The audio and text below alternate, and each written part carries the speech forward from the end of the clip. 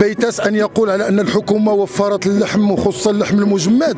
كان عليه أولا أن يصارح المغاربة ويقول للمغاربة ضاعت اللحوم البيضاء والحمراء التي كانت بوفرة متوفرة في المغرب. اليوم اليوم الحديث على أن السوق المغربية تعرف يعني استيراد اللحوم المجمدة هذا دليل على أزمة. لأن لأن كان من المفروض على المخطط الأخضر أن يوفر الأمن الغذائي والسيادة الغذائية.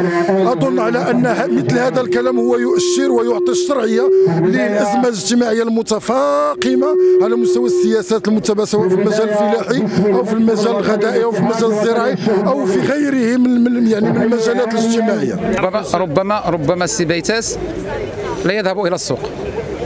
هذا هو زعما التعليق اللي نقدر نقول. أنا البارح شريت اللحم ب 2300 ريال الكيلو.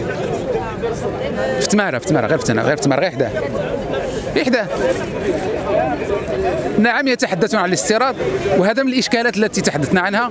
من يستفيد من هذا الاستيراد؟ اللوبيات. يتحدثوا عن أضحية العيد واستيراد الأضاحي. هل وجدتموها في السوق بشكل متزن؟